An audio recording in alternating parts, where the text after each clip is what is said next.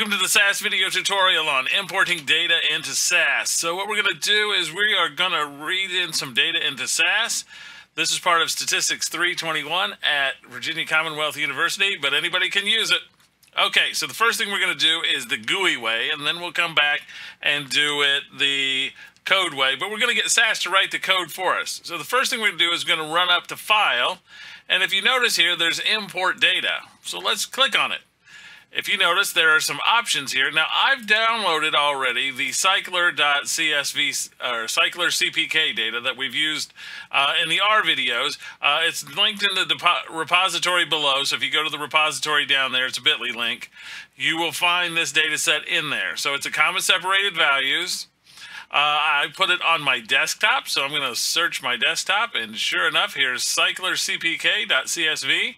So if you pull that one off the repository, you should be able to use this.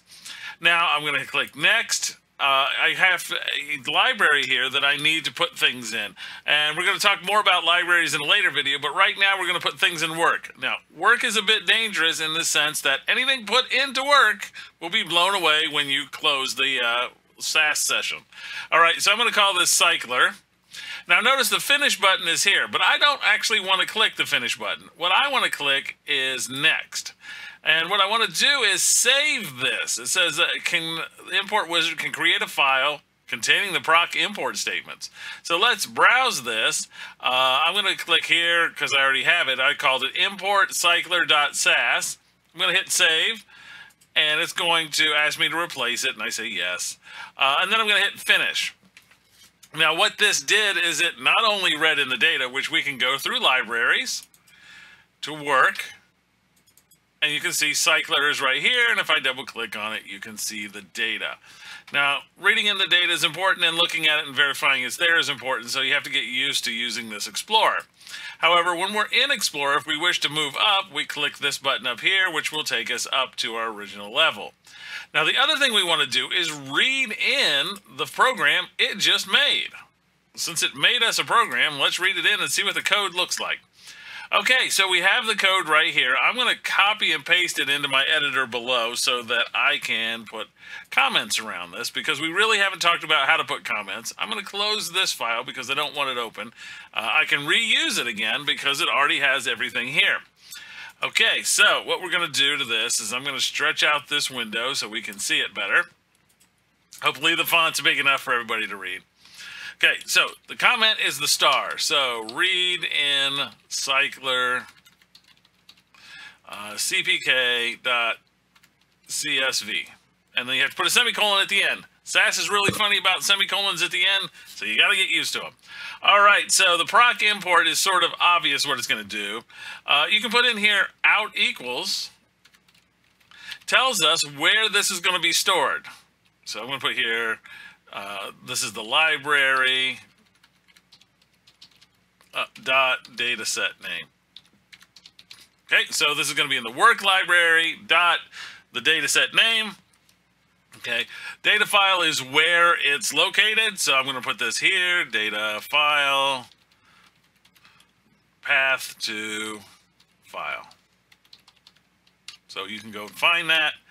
Uh, the next thing is is DBMS. DBMS is Database Management System, but this is basically the format.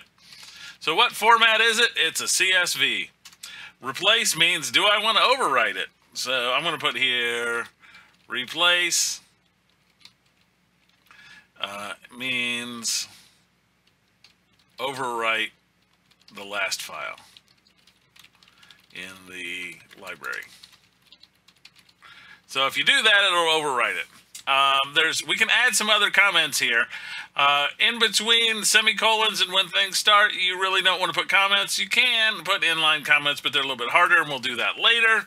Right now, this get names means here uh, is is the first row a header row.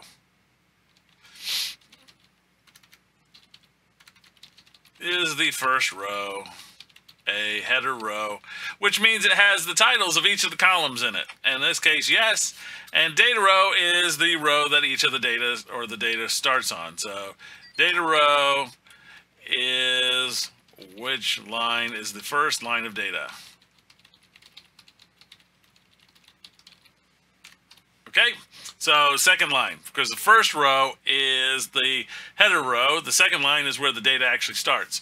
Now, if we wanted to, we could come over here to libraries, work, cycler, and I'm going to hit here and I'm just going to delete this. Okay, so I'm going to delete it.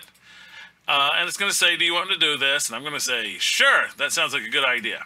Okay, now I'm going to do is I'm going to come over to my original editor. Notice the menu changes here.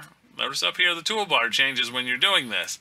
I'm going to click, highlight this, and click Run. And this is going to push this to the log. And notice Cycler shows back up.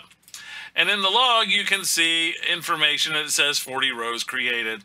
Uh, this might be a little bit hard to read in uh, the video, but hopefully the code over here is clear enough for you to actually follow along. All right, so we've read in a CSV file into SAS, and you can use this to read in all kinds of different formats, so I'm not going to have a video on how to do each and every format. Just simply go up to File, Import Data, and here's a list of all the formats that you can read in and you can use this GUI and it will create new uh, code for you each and every time. So you have lots of options here. So that's why I'm not going to go over it.